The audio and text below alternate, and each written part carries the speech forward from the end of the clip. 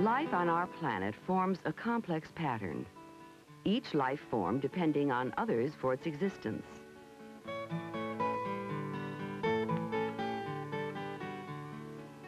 Animal life is part of a food chain that begins with green plants.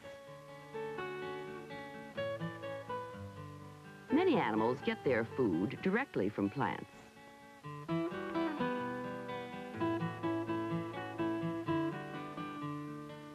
And the plant eaters may become food for other animals.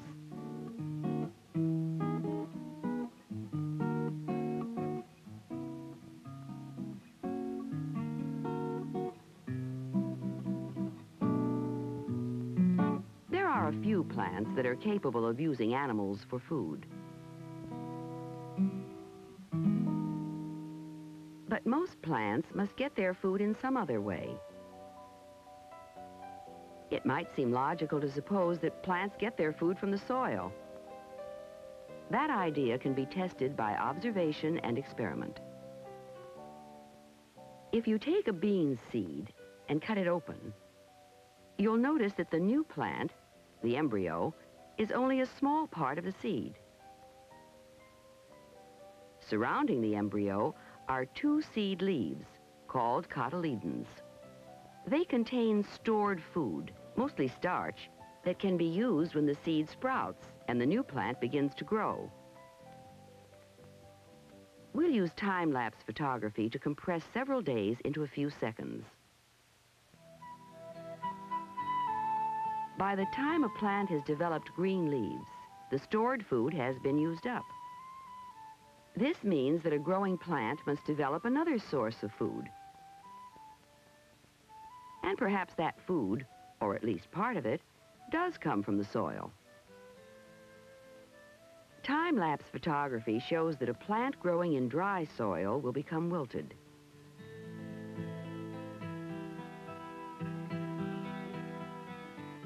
And without water, it will eventually die.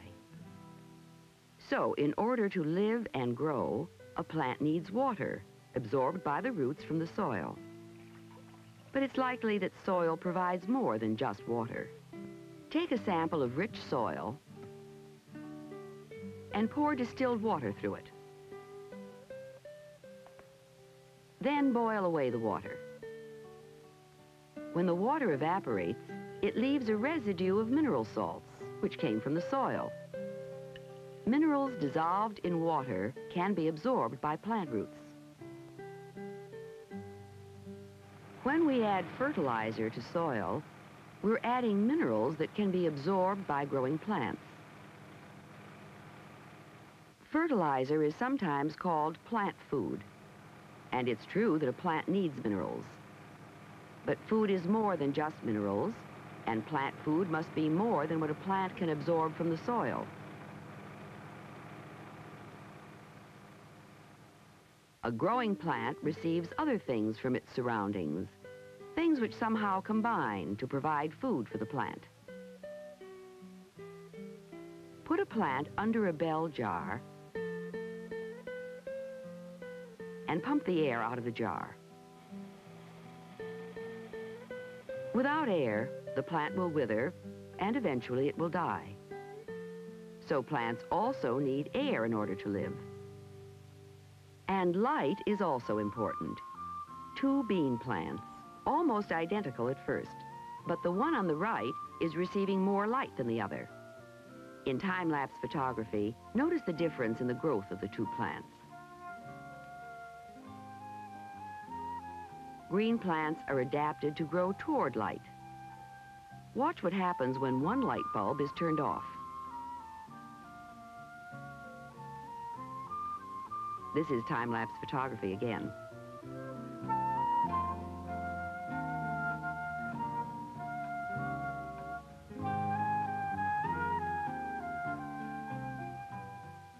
So a green plant needs light as well as air, water, and minerals. To see how this is related to food, we need to take a closer look at the structure of a plant. Plants are made up of thousands of living cells. There are several different types of cells, most of them arranged in layers to form tissues.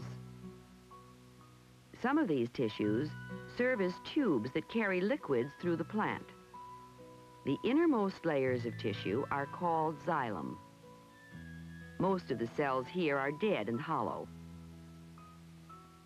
Water and dissolved minerals enter through the roots and move upward in the xylem tubes, through the stem and into the leaves. Most of the water reaching the leaves is given off into the air, but some water is used in a chemical reaction that also requires air and light. The surface of a leaf has many small openings called stomata. Air passes through the stomata into air chambers located just below the surface. Air and water are used as raw materials for a chemical reaction that takes place in certain specialized plant cells. Large numbers of these specialized cells are found in a leaf. Inside these cells are small bodies called chloroplasts.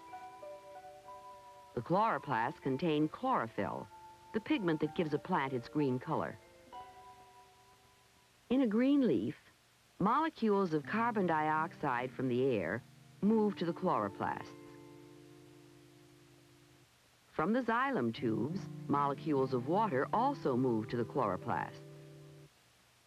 The chloroplasts absorb light energy, and this energy is used in a complex chemical reaction that converts carbon dioxide and water molecules to molecules of sugar, releasing leftover oxygen into the air. The reaction is called photosynthesis.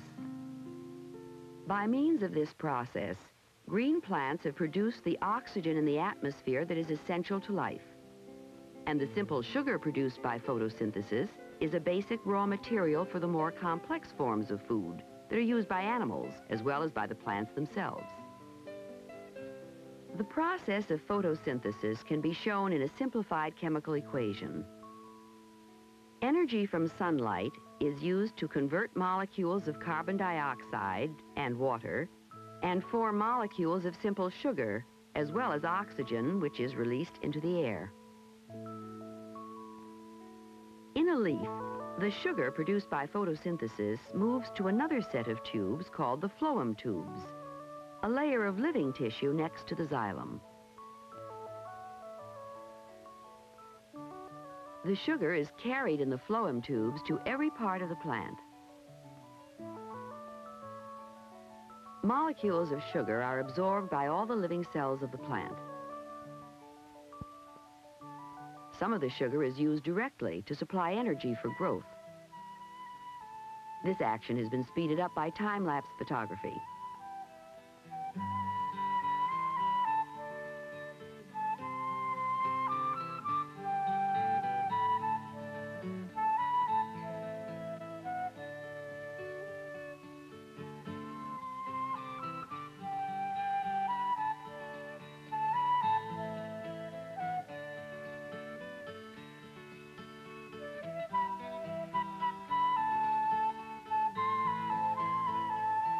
The release of energy in a plant cell involves a chemical reaction that uses up oxygen and releases carbon dioxide, just as it does in an animal cell. But plants produce much more oxygen by photosynthesis than they use in providing for their energy needs.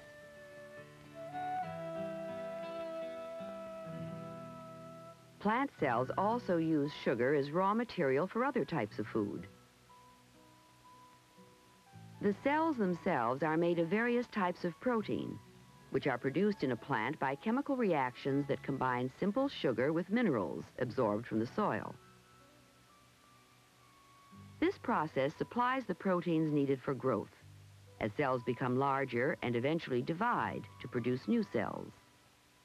We're using time-lapse photography once again.